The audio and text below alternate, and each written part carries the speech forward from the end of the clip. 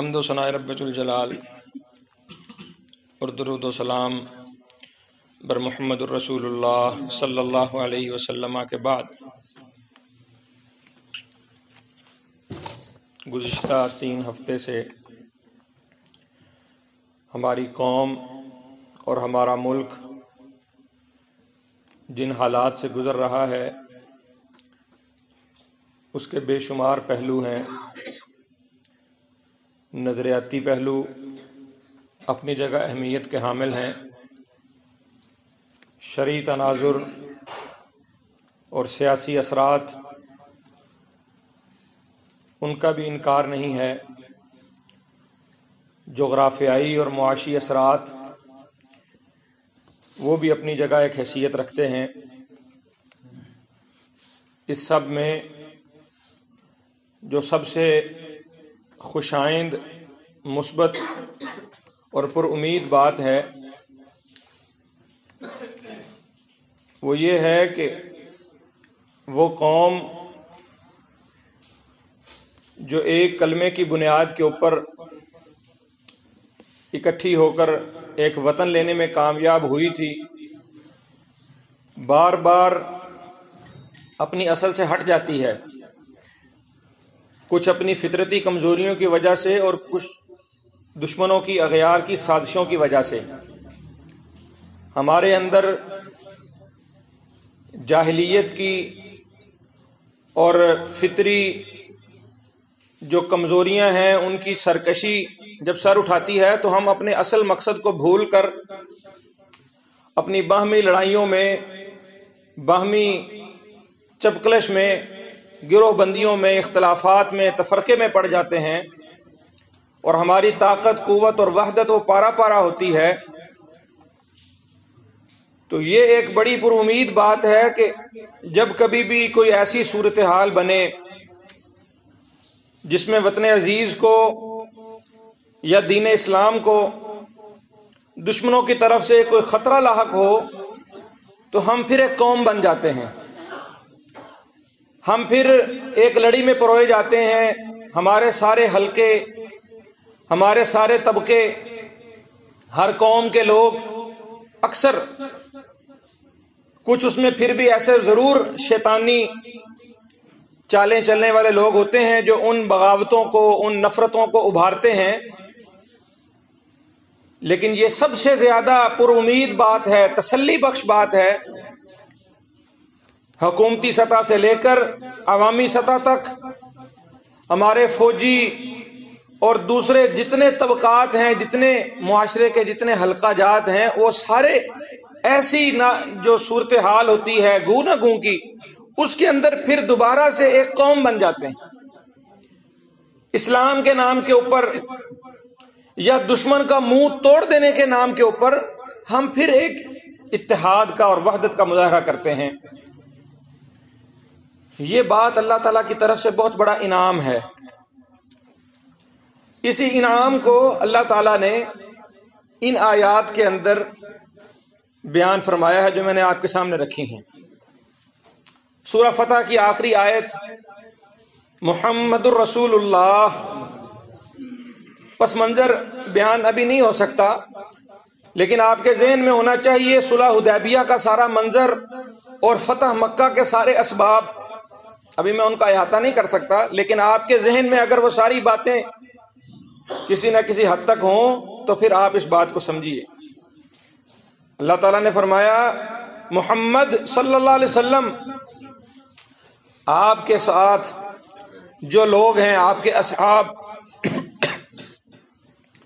اشدا الکفار رحما بینہم۔ کافروں کے بارے میں یاد رکھیے کافروں سے مراد سارے کافر نہیں ہیں۔ وہ کافر جو دین اسلام کے رستے میں رکاوٹ ہیں، جو مسلمانوں کے ساتھ آمادہ جنگ ہیں، جو مسلمانوں کے اوپر حملہ آور ہیں، ان کافروں کی بات ہو رہی صرف۔ من حیث العموم کافروں کی بات نہیں ہو رہی۔ آپ کے ساتھی محمد صلی اللہ علیہ وسلم اور آپ کے اصحاب، آپ کے ساتھی صحابہ کرام کافروں کے اوپر انتہائی سخت اور شدید ہیں۔ روحما بینہم۔ دشمن کا ہونا بھی اللہ کی ایک نعمت ہوتی ہے، ایک لحاظ سے۔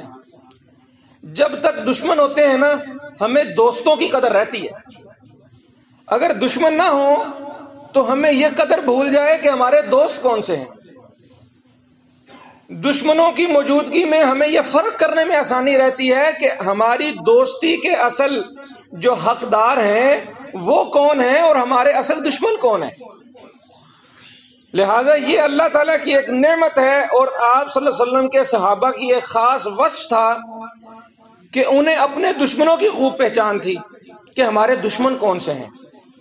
جب دشمن کی پہچان ہو جاتی ہے کہ میرے دشمن یہ یہ ہیں، تو دوستوں کی پہچان خود بخود ہو جاتی ہے۔ اس کے رد عمل میں بندے کو دوستوں کا پتہ چلتا ہے کہ میرے اصل دوست یہ ہیں۔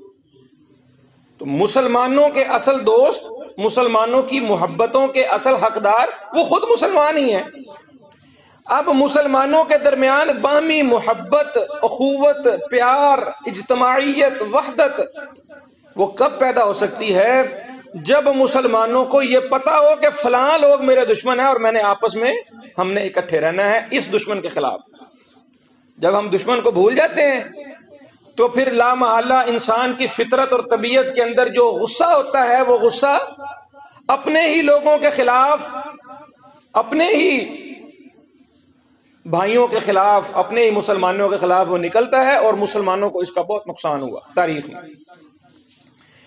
یہ ایک بہت مزے کی بات ہے کہ صحیح جگہ غصہ نکلے گا تو صحیح جگہ محبت کا اظہار بھی ہوگا۔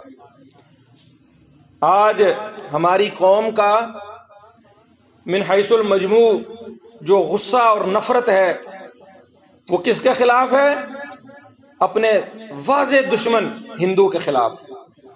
اور اس بات کو یاد رکھ لیجیے، ہندو دشمنی میں مسلمانوں کے ساتھ اکیلا نہیں ہے۔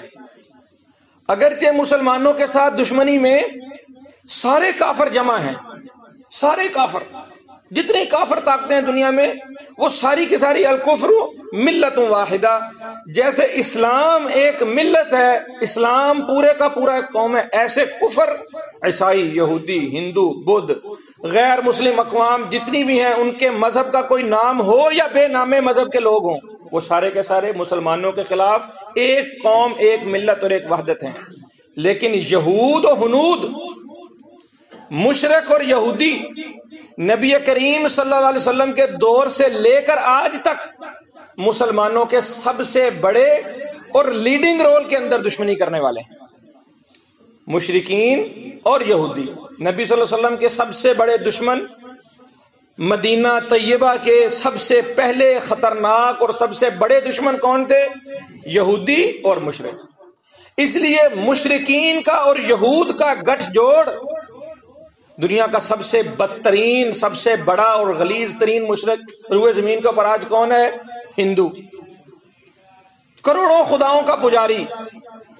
گائے کا پیشاب پی کر گائے کے چرنوں کو، گائے کے قدموں کو ہاتھ لگا کر اس کی پیٹ کی طرف سجدہ ریز ہونے والا گندا اور غلیظ ترین مشرق روئے زمین کا ہندو کو یہود کی پوری کی پوری حمایت، سرپرستی اور تعاون حاصل ہے اور مسلمانوں کے خلاف سب سے بڑے اور سب سے پہلی سطح کے دشمن وہ یہود و حنود ہے یہودی چھپا دشمن ہے اور ہندو یعنی مشرق واضح اور کھلا دشمن ہے۔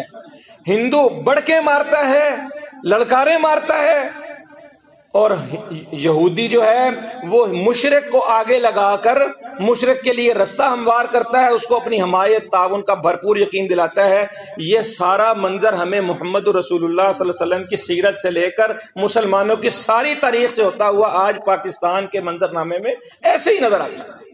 یہودی سامنے نہیں آئے گا اور مشرق بھڑکنے مار بڑھ کے مارنے سے اور للکارے مارنے سے باز نہیں آئے گا۔ آج جو یہ منظر بنا ہوا ہے جو جنگی حالات اور جو یہ گونا گوں کی کیفیت انسرٹن غیر یقینی حالات، کیا ہوگا، کب ہوگا، کیسے ہوگا؟ ہندو ہمیں للکار رہا ہے، وہاں پر ان کے میڈیا کے اوپر ان کی عوامی سطح سے لے کر حکومتی سطح تک جنگ کا ماحول ہے، جنگی جنون ہے۔ اور ہماری طرف سے، مسلمانوں کی طرف سے، پاکستانیوں کی طرف سے، ہمارے حکمرانوں سے لے کر ہماری فوج تک ہمارے میڈیا سے لے کر ہماری عوام تک، ہمارے ذمہ دار سارے کے سارے طبقے۔ وہ کیا کہہ رہے ہیں؟ ہم جنگ نہیں چاہتے۔ ہم کیا چاہتے؟ امن۔ ہمارا مقصد امن ہے۔ ہم جذبہ خیر سگالی ہم محبت۔ ہم نے تمہارا پائلٹ چھوڑا۔ ہم نے تمہاری آپ دوست کو واپس بھیجا۔ ہم نے تمہارے تیارے مار کر بھی دکھائے۔ باز آ جاؤ، جنگ نہ کرو۔ ہم جنگ نہیں چاہتے۔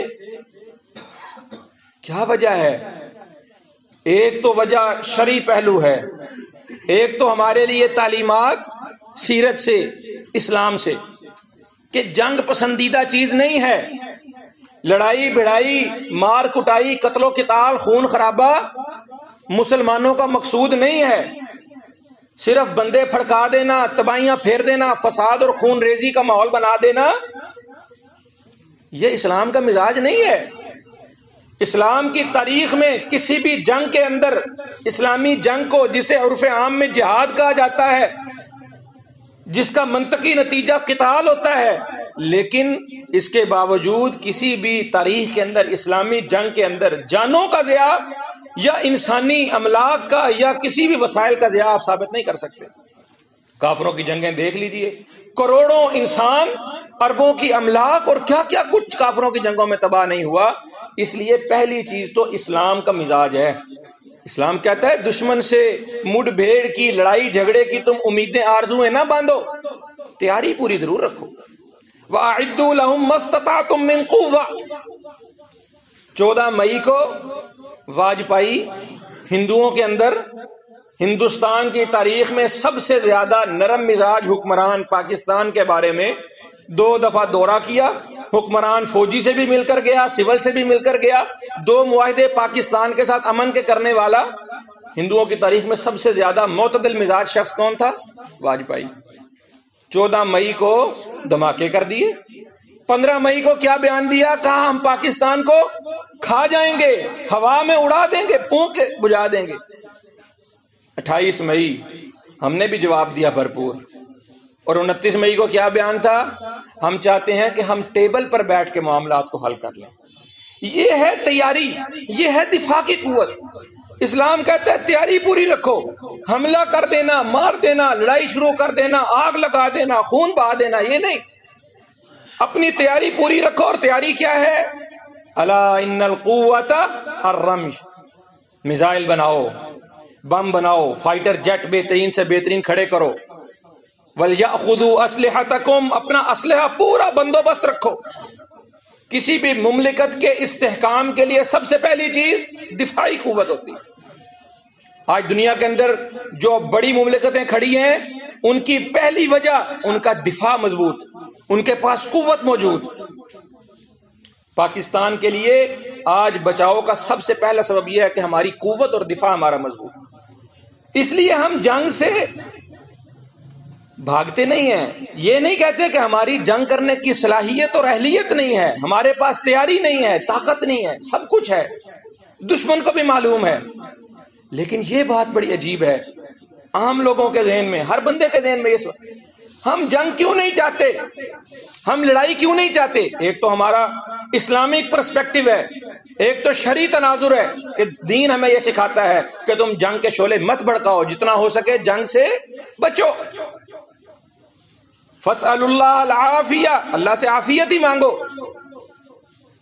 اللہ تعالیٰ نے قرآن مجید کے اندر سلیمان علیہ السلام اور ملکہ بلکیس کا جو ہے نا وہ ان کا آپس کے جو مذاکرات تھے، ان کا تذکرہ کیا۔ جب سلیمان علیہ السلام نے اپنا خط بھیجا نا تو ملکہ نے اپنے مشیروں کو ساروں کو بلا کر ان کو کہا بتاؤ یہ خط مجھ تک پہنچا ہے؟ ایک بڑا ہی معزز سفیر میرے تک یہ خط لے کر آیا ہے؟ کیا کریں؟ جنگ کریں؟ کیا کریں؟ مشیر اس کے سارے جنونی تھے۔ انہوں نے کہا ہاں, ہاں، بالکل بالکل ہم ہمارے پاس کس چیز کی کمی ہے؟ لیکن ملکہ سمجھدار تھی اس نے کہا ان الملوک اذا دخلوا قرية افسدوها وجعلوا اعزت اهلها اذلہ جب جنگیں لگتی ہیں نا تو جنگوں میں بڑا فساد ہوتا ہے۔ بستیوں کی بستیاں اجڑ جاتی ہیں۔ عزت داروں کی عزتیں پامال ہو جاتی ہیں۔ جانوں کا نقصان ہو جاتا ہے۔ جنگیں بڑی خطرناک ہیں۔ ملکہ نے سمجھداری کا مظاہرہ کیا، کہا، ہم بھی اس کے بدلے میں اچھا پیغام بھیجیں گے، میں ملاقات کروں گی، مذاکرات بات کروں گی۔ بات چیت بھی، مذاکرات بھی اسلام کا بتایا ہوا طریقہ ہے۔ اسلام نے صرف جنگ نہیں سکھائی، اسلام نے جنگ سے پہلے مذاکرات سکھائے ہیں۔ جتنی جنگیں مسلمانوں کی ہوئیں کافروں سے، ہر جنگ کے اندر، سعد بن نبی وقاص سے لے کر ربی بن عامر تک، ہر جنگ سے پہلے مذاکرات ہوتے تھے۔ ہاں ان مذاکرات کی شان بڑی نرالی ہوتی تھی۔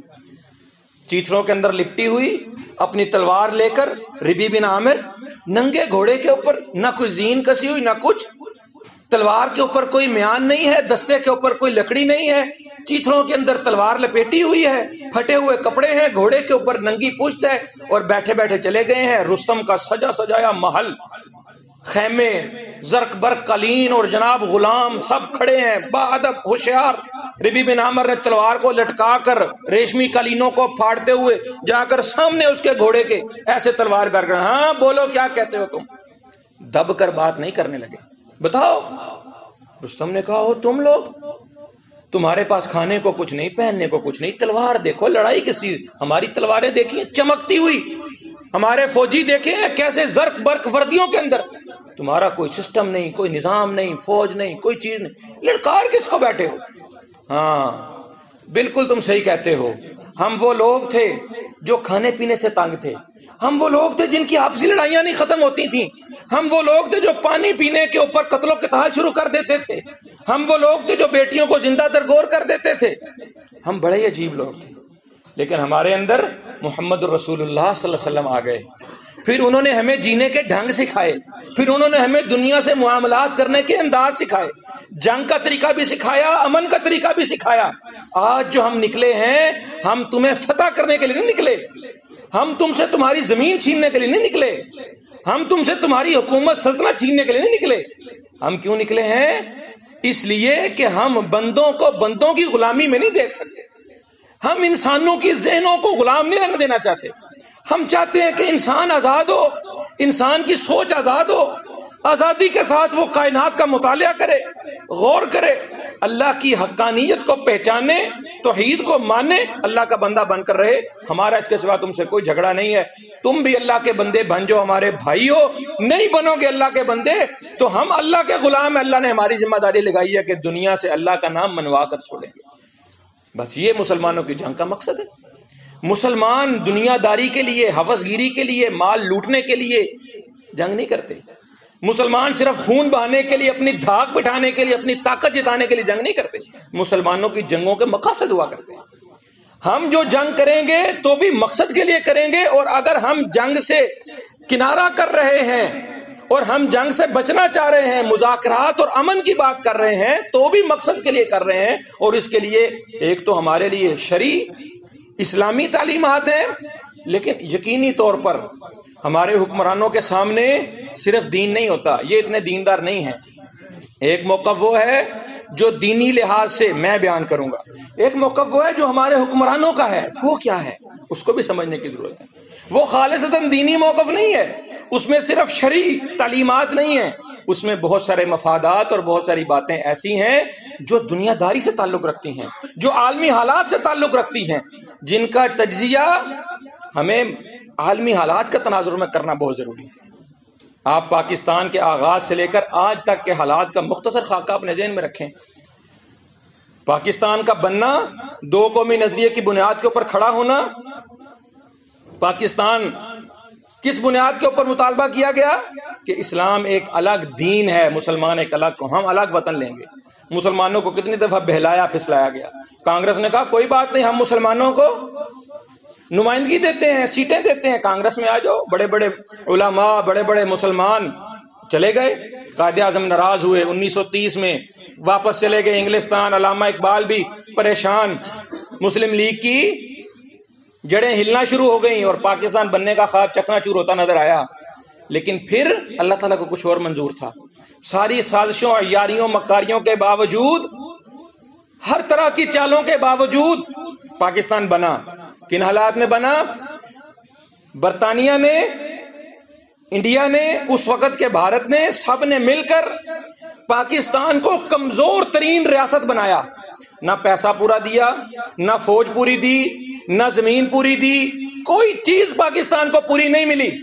آپ کو معلوم ہے، سب آپ سمجھدار پڑھے لکھے لوگ ہیں، یہ باتیں میں دوبارہ لمبی نہیں کرنا چاہتا یہاں۔ پاکستان بنا، سب کا خیال تھا، ایک سال، دو سال پانچ سال، دس سال، یہ ملک کیسے چل سکتا ہے؟ اس ملک کے پاس فوج نہیں، اس کے پاس پیسہ نہیں۔ سب کچھ تو روک لیا۔ دو بنیادیں ہیں، پیسہ یا دفاع۔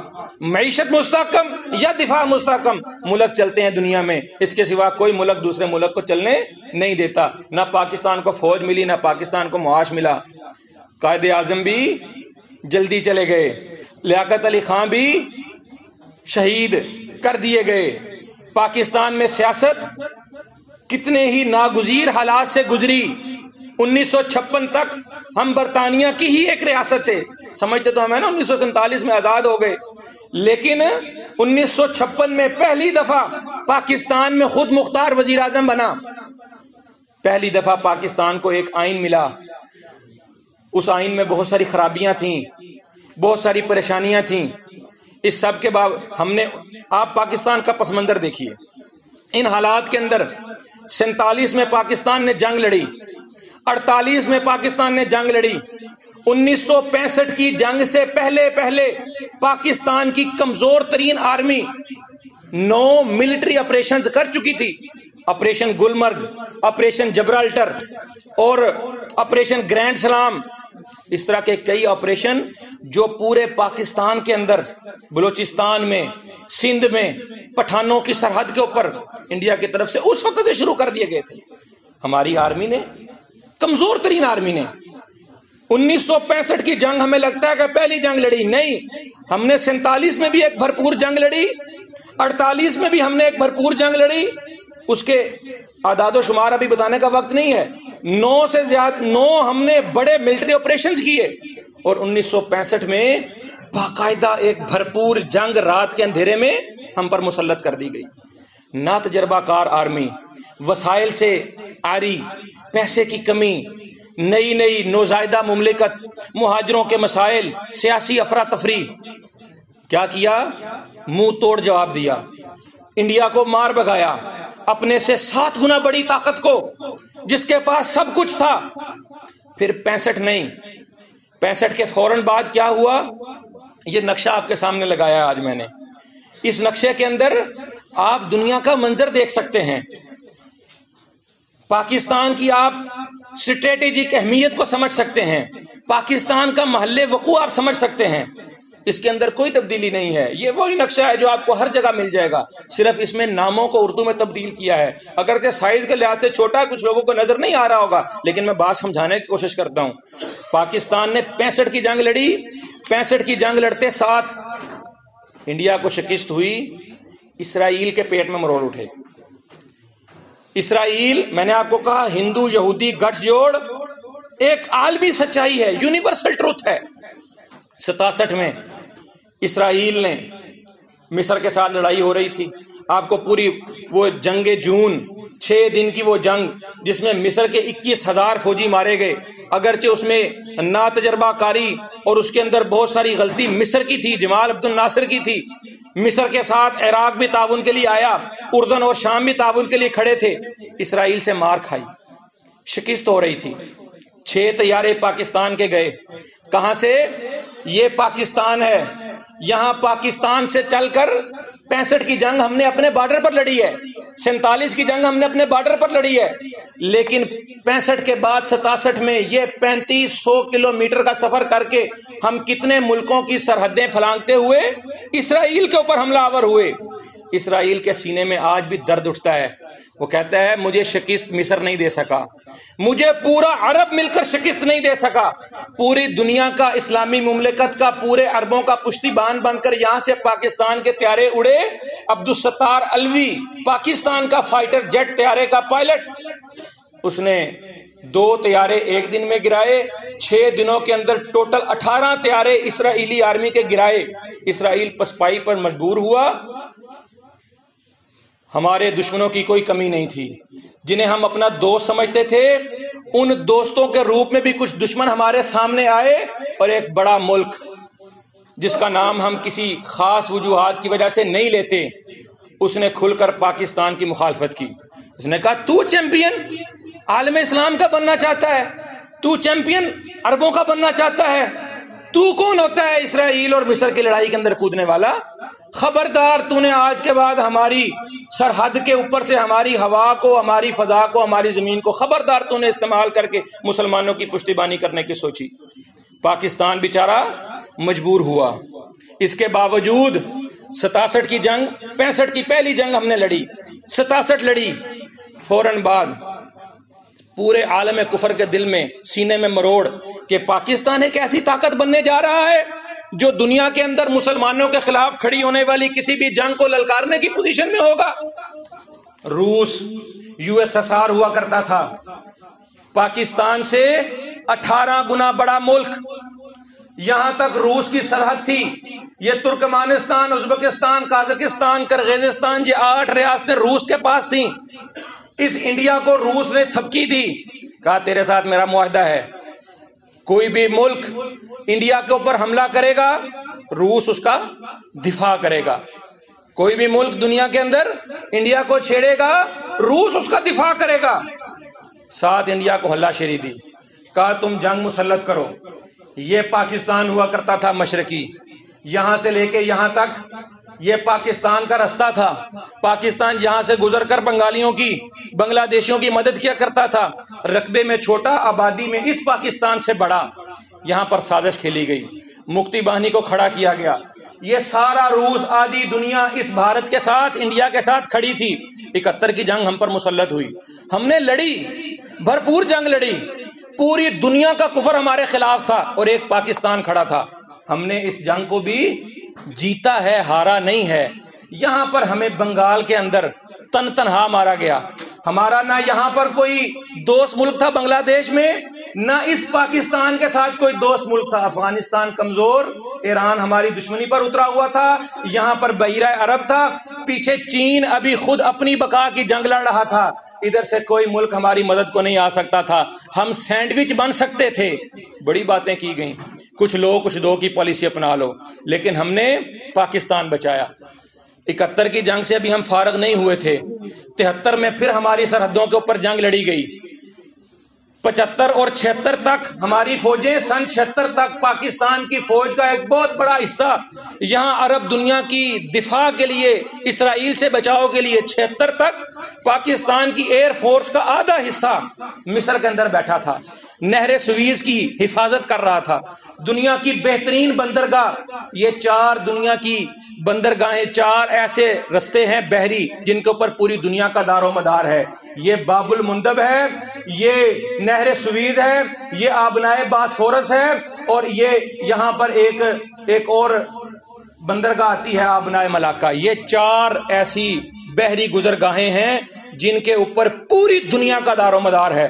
نہر سویز کے اوپر اسرائیل نے قبضہ کیا ہوا تھا۔ پاکستان کی ایئر فورس انیس سو چھتر تک صرف پاکستان کا دفاع نہیں کر رہی تھی، یہاں پر بیٹھ کر مصر کے اندر اس پوری عرب دنیا کا دفاع بھی کر رہی تھی۔ اس کے باوجود ہم نے اپنی سرزمین پر بھی جنگیں لڑی ہم نے مسلمان ملکوں کا جا کر بھی دفاع کیا۔ اور ابھی ہم ان جنگوں سے فارغ نہیں ہو رہے تھے۔ روس نے دیکھا کہ پاکستان تو بڑی طاقت بنتا جا رہا ہے۔ پاکستان کا ناطقہ تو بند کرنا ضروری ہو گیا ہے۔ اس روس کے چاروں طرف سمندر ہے۔ کون سا؟ منجمد سمندر۔ بحیرہ منجمد، جہاں پر برف رہتی ہے نو مہینے۔ کوئی جہاز نہیں چل سکتا۔ روس دنیا کے ساتھ کوئی معاملات نہیں کر سکتا تھا۔ روس کے پاس دنیا کی طرف ہاتھ بڑھانے کا صرف ایک رستہ تھا۔ اس افغانستان سے ہو کر یہاں پاکستان سے رستہ بناتا اور اس گرم پانیوں کے سمندر سے ہوتا ہوا پوری دنیا کے ساتھ روس کا رابطہ بن جاتا۔ روس افغانستان پر حملہ ور ہوا۔ نشانہ پاکستان تھا۔ اٹھتر سے لے کر انیس سو اکاسی تک، ڈھائی سال تک پاکستان نے یو ایس ایس آر دنیا کی سپر پاور کے سامنے اکیلے ساری دنیا نے سمجھایا۔ وہ انڈیا تھا۔ اس سے تم نے لڑ لیا۔ یہ روس ہے۔ یہاں تو صرف روس نے معاہدہ کیا تھا انڈیا سے کہ کوئی چھیڑے تو صحیح انڈیا کو۔ اب تو روس خود میدان میں آ گیا ہے تم پاگل ہو۔ بڑے بڑے تجزیہ نگار، بڑے بڑے مبصر اور بڑے بڑے سیانے وہ سمجھاتے تھے یہ غلطی مت کرنا۔ قصہ پرینا ماضی بن جاؤ گے۔ ہم نے ڈھائی سال روس کو اپنے سینے پر روکا، افغانستان کے اندر اتر کر۔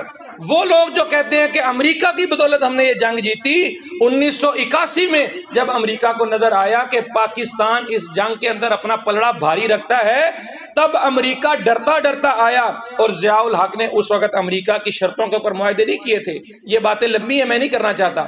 لیکن امریکہ ضرور آیا۔ دشمنوں کے خلاف ہم نے دشمنوں کی مدد ضرور لی۔ روس کو ہم نے پچھاڑا۔ اکاسی سے لے کر انیس سو نوے تک دس سال کی مسلسل جنگ ہم نے افغانستان کی سرزمین کے اوپر پاکستان کی بقا کی لڑی ہے۔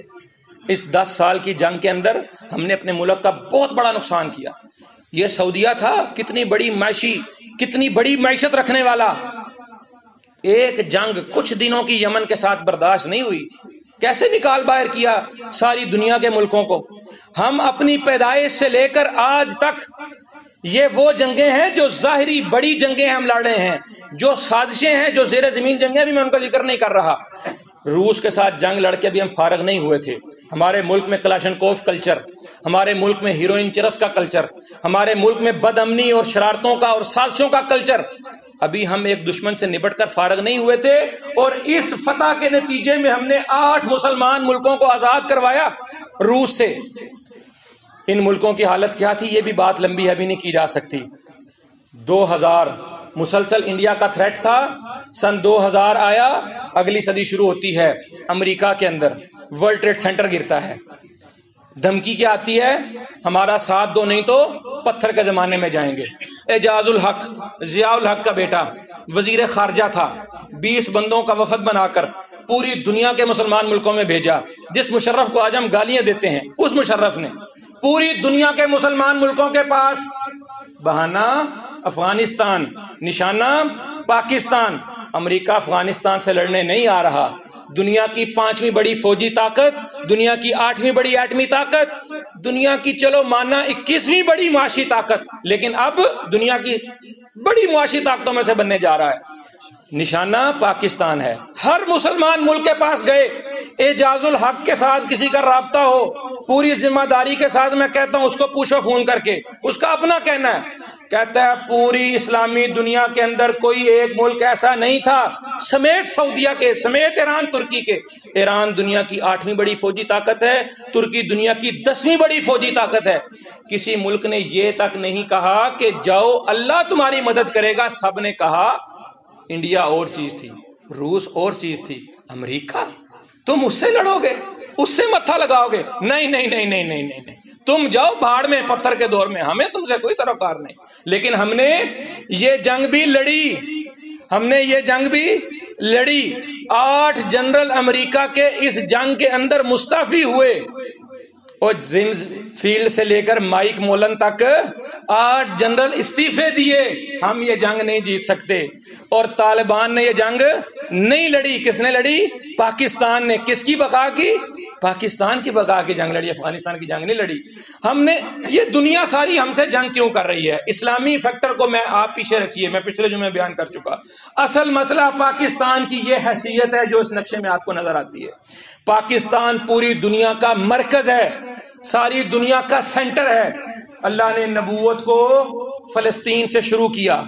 پہلا قبلہ اول فلسطین میں، مسلمانوں کا بیت اللہ مکہ کے اندر۔ یہ دنیا کا سینٹر تھا۔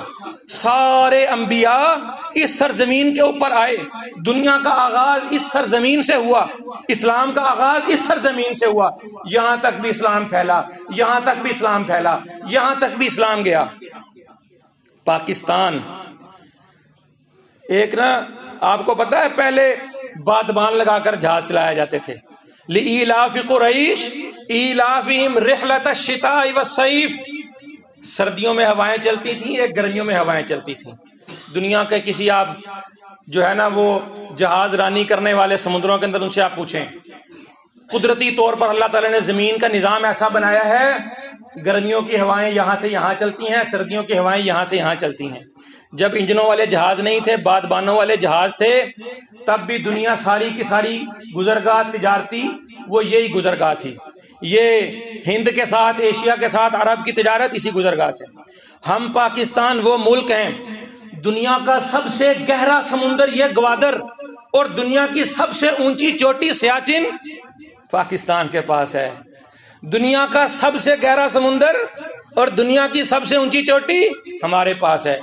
ہم دنیا کی چھت بھی رکھتے ہیں، ہم دنیا کی اندر تہ خانہ بھی دنیا کا ہمارے پاس ہے۔ یہ چین تھا، یہاں سے پینتیس ہزار کلو میٹر کا جہاز چلا کے یہاں اربوں کے ساتھ تجارت کرتا تھا۔ چین کو پتا چلا، پاکستان ناقابل تسخیر ہے۔ پہلے ہمارا دوست کوئی نہیں تھا، اب بھی چین ہمارا دوست نہیں ہے اس بات کو ذہن میں رکھنا۔ چین اپنے مفادات کا پجاری ہے۔ دنیا کی سب سے بڑی فوجی طاقت ہے۔ امریکہ کے پاس سولہ لاکھ آرمی ہے۔ اور چین کے پاس تیئیس لاکھ آرمی ہے۔ اتنی بڑی فوجی طاقت اس نے کس لیے رکھی ہے؟ صرف اپنے دفاع کے لیے نہیں رکھی۔ یہ یاجوج مجوج کی قوم ہے۔ انہوں نے مسلمانوں کو دنیا میں تباہ و برباد کرنا ہی کرنا ہے۔ نبی کریم صلی اللہ علیہ وسلم کی حدیث کے مطابق یہ موضوع پھر ایک الگ ہے۔ یہ چین ہمارا دوست نہیں ہے۔ چین کے مفادات ہیں۔ آپ دیکھ سکتے ہیں۔ غیر مذاہب کے جو لادین مذاہب ہیں، سب سے بڑا اس میں چین ہے۔ دنیا کا تیسرا بڑا مذہب ہندو مت ہے اور دنیا کا سب سے بڑا مذہب عیسائیت ہے۔ یہ عیسائیت ہمارے سر کے اوپر بیٹھی ہے۔ لادینیت ہمارے سر کے اوپر بیٹھی ہے۔ ہندو مت ہمارے سر کے اوپر بیٹھا ہے۔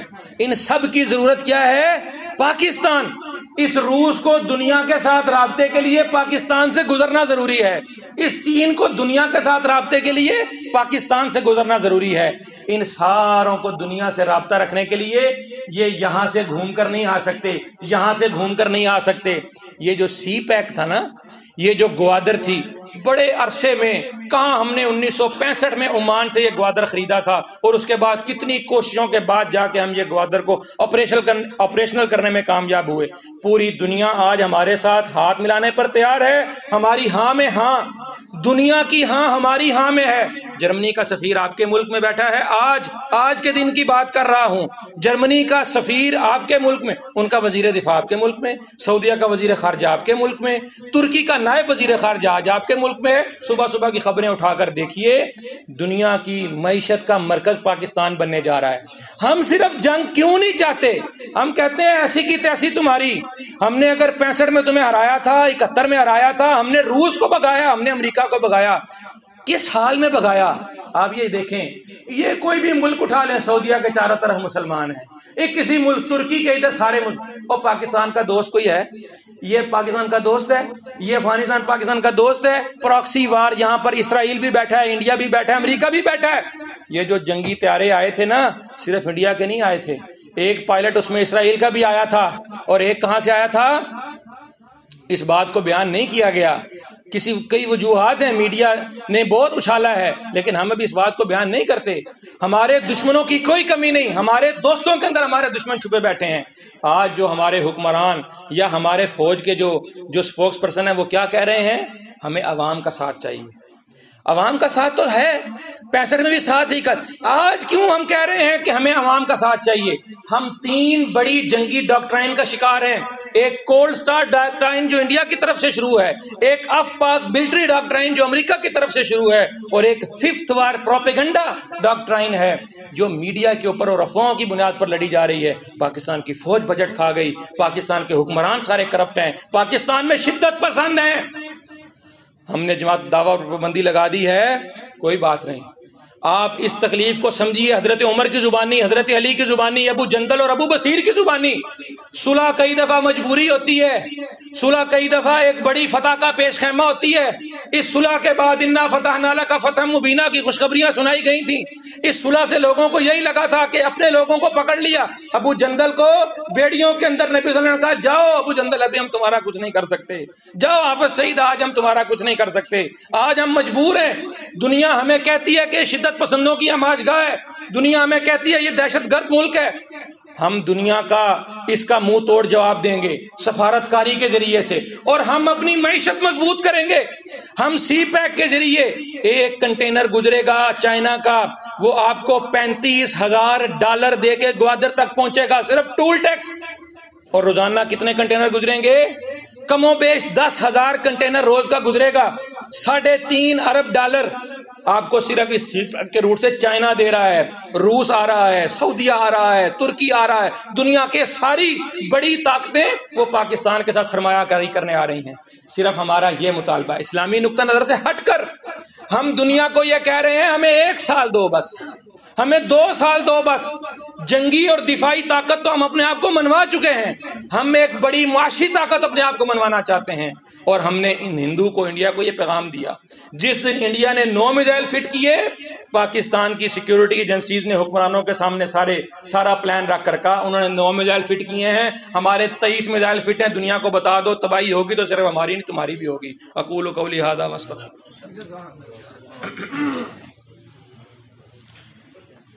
الحمد لله الحمد لله نحمده ونستعينه ونستغفره ونعوذ بالله من شرور انفسنا ومن سيئات اعمالنا، من يهدي الله فلا مضل له، ومن يضلل فلا هادي له، واشهد ان لا اله الا الله وحده وحده لا شريك له، واشهد ان محمدا عبده ورسوله آپ دیکھیں اس جنگ کے اندر ہماری حکمت عملی کیا ہے؟ یہ کہنے کے باوجود کہ ہم جنگ نہیں لڑیں گے، ہمارا یہ بیانیہ ہونے کے باوجود کہ ہم امن چاہتے ہیں۔ آپ کو پتہ ہے ہندوستان کی ایئر فورس کا جو ساؤتھ کمانڈ کا جو ان کا کمانڈر تھا، اس کو مستعفی کر دیا گیا ہے۔ کیوں؟ کہ تم نے جو پاکستان کی طرف تیارے بھیجے تھے، جو دو ہم نے مار گرائے، اس کو بھیجنے میں ایسی بڑی جو ہے نا جنگی غلطیاں کی گئی تھیں۔ اور کتنے ان کے جو ہیں وہ فوجی اپنے گھروں کو چلے گئے ہیں۔ اور صرف یہ نہیں، پاک فضائیہ کا جو ہیڈ کوارٹر تھا، انڈیا کا، اس کے اندر آج آگ لگی ہوئی ہے۔ مودی رافیل تیاروں کے کیس کے اندر پھنسا ہوا ہے۔ یہ سارا جو شڑینتر جسے ہندو کہہ رہا ہے، یہ سارا شڑینتر کس نے رچا تھا؟ مودی نے خود۔ پلوامہ حملے سے لے کے پاکستان کے ساتھ ساری چھیڑ خانی یہ ان کی اپنی سیاست تھی۔ لیکن اس سیاست کا منہ توڑ جواب ہم نے انڈیا کی سرزمین پر بھی دیا ہے۔ انڈیا نے جس سرزمین کو اپنی پراکسی بنایا ہوا تھا، جلال آباد ایئرپورٹ پر، طالبان کو بھی یہ بات سمجھ ہے۔ کہ ہے امریکہ نہ انڈیا ہے نہ روس ہے۔ امریکہ کے ساتھ معاملات بڑے ہی اور طریقے سے چلنے والے ہیں۔ ایک طرف وہ مذاکرات کر رہا ہے اور ایک طرف وہ افغانستان کے اندر اپنے پیر جمائے رکھنا چاہتا ہے۔ اس بات کو آپ یاد رکھیے، شام کے اندر جو شروع جنگ ہے اور برما کے اندر جو مسلمانوں کا قتل عام ہوا۔ کیوں؟ کروڑوں ویڈیوز آپ تک پہنچی گلے کاٹے گئے، عورتوں کی چھاتیاں کاٹی گئیں، ان کے جسموں کو دو لخت کر دیا گیا، جلایا گیا، چیرا گیا، پھاڑا گیا۔ ہر ایک کی تصویر آ رہی ہے۔ لیکن جو کرنے والے ہیں، ان کے چہروں پر نکاب ہیں۔ کیوں؟ سوچی سمجھی سازش۔ پاکستان کو پھنسانے کی سازش کہ تم کیوں آوازیں اٹھتی ہیں؟ برما میں جا کے ساتھ کیوں نہیں دیتے؟ شامیوں کی حمایت کیوں نہیں کرتے؟ پاکستان اپنی بقا کی جنگ لڑ رہا ہے۔ پاکستان نے اس کے باوجود سارے اسلامی ملکوں کا دفاع کیا۔ ہم نے شام کے لیے اسلامی فوجی اتحاد بنایا۔ ہمارے اندر سے ہمارے ساتھ سازش کیا ہوئی؟ نیٹو اٹھائیس ملکوں کا اتحاد ہے۔ ان اٹھائیس ملکوں کے اتحاد کا سربراہ فوجی جنرل ہوتا ہے دنیا کی آنکھوں میں آنکھ ڈال کر بات کر سکتا ہے۔ اس کا حکم فوجی حکم ہوتا ہے، اس کا آرڈر آرڈر ہوتا ہے۔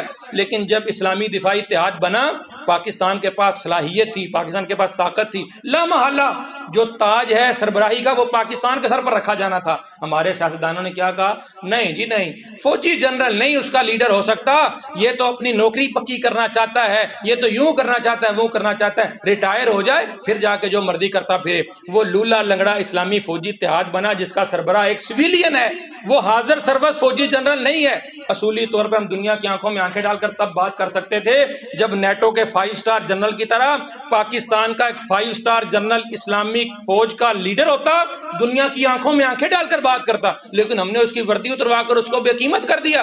پاکستان کے ساتھ بہت بڑی سازش کی گئی اور جو لوگ اس کے اندر سارے شامل ہوئے، وہ بھی ایک لمبی داستان ہے۔ اس کے باوجود ہمارے مطالبے کیا آتے ہیں؟ اسلامی فوجی اتحاد کیا کر رہا ہے؟ برما میں کیوں نہیں جاتا؟ شام میں کیوں نہیں جاتا؟ یہ جنگ کا جو میدان ہے نا، تبدیل کیا گیا ہے۔ سمجھا انہوں نے کہ افغانستان نوسط زدہ ہے اور پاکستان کے پاس جو جائے گا، پاکستان اس کو مار گرائے گا۔ جنگ کا میدان بدلو، دنیا کے دوسرے خطوں میں لے کے جاؤ۔ بے شک اب اگلا جنگ کا میدان شام ہے۔ اس پر میں آپ کو پہلے بہت دفعہ دو جمعے پڑھا چکا ہوں۔ اگلا میدان جنگ کا شام ہے۔ دنیا کی بڑی جنگیں، ہر مسجدون شام کی سرزمین پہ لڑی جائے گی۔ دفاع کرنے والے آپ کے ہی لوگ ہوں گے، ہم ہی لوگ ہوں گے، ہماری سرزمین کے لوگ ہوں گے۔ اس لیے میرے بھائیوں اپنے ملک پر اعتماد رکھیے۔ فوج کے خلاف، حتیٰ کہ حکمرانوں کے خلاف بھی اپنی آوازیں بلند کرنے میں بڑی احتیاط کا مظاہرہ کیجیے۔ دشمن تو یہ چاہتا ہے کہ طالبان کو کھڑا کرے، دشمن تو چاہتا ہے پی ٹی ایم کو کھڑا کرے، جسکم کو کھڑا کرے، ایم کیو ایم کو طاقت دے، پاکستان کی علیحدگی کی تحریکیں چلیں۔ پاکستان ٹوٹے۔ ہم نے چھبیس آپریشن صرف بلوچستان میں کیے ہیں بغاوت کو چلنے کے لیے۔ یہ بغاوتیں کون کرواتا ہے؟ انڈیا۔ یہ سارا پیسہ کون بھیجتا ہے؟ انڈیا۔ اور صرف انڈیا نہیں، اس کے ساتھ ساری طاقتیں۔ ہم یہ ساری جنگیں لڑ رہے ہیں بھائی۔ ان جنگوں کے لیے عوام کا ساتھ اور ففتھ جنریشن وار فیئر میں افواہوں کا توڑ آپ کو کرنا ہے، مجھے کرنا ہے، ہم سب کو مل کر کرنا ہے۔ یہ ممبر صرف اسلام کے دفاع کا ممبر نہیں ہونا چاہیے، یہ مسجدیں صرف اسلام کے دفاع کے مرکز نہیں ہونے چاہیے، وطن عزیز کے دفاع کے مرکز بھی ہونا چاہیے۔ ہمیں اپنے ملک، وطن عزیز پاکستان کو دنیا کی ایک مستحکم معیشت بھی بنانا ہے، ہمیں دنیا کی ایک مستحکم طاقت بھی بنانا ہے۔ یہ اسی صورت میں ہوگا جب ہم دنیا کے اس پروپیگنڈے سے نکلیں۔ ہم پاکستان کا دفاع بھی کر رہے ہیں، عالم اسلام کا دفاع بھی کر رہے ہیں۔ ہم انڈیا کو ناکوں چنے چپوا رہے ہیں جلال آباد کے اندر بھی، انڈیا کی اپنی سرزمین کے اوپر بھی، اور انڈیا کی سرحد کے اوپر جہاں اس نے اپنی اسی فیصد آرمی ڈپلائی کر دی ہے۔ باقی کشمیر میں ہے، باقی کی ساری، ادھر اس نے۔ یہ دو تین مہینے کی بات ہے، الیکشن ہو جائیں، کچھ ہونا ہوا تو ان دو تین مہینوں کے اندر ہونا ہے، اور نہ ہونا ہوا تو پھر اس کے بعد انشاءاللہ پاکستان کی جو ہے نا، اللہ تعالیٰ نے، پاکستان اللہ کا ایک راز ہے۔ اس پاکستان کو، یہ یہ پاکستان کی جغرافیائی اور نظریاتی اہمیتیں میرے بھائیوں اس کے بہت سارے پہلو ہیں۔ جتنی جنگیں انڈیا کے ہم سے ہوتی ہیں، وہ یہ نہیں کہتا کہ پاکستان، وہ کہتا ہے نظریہ خلیج میں ڈبویا میں نے۔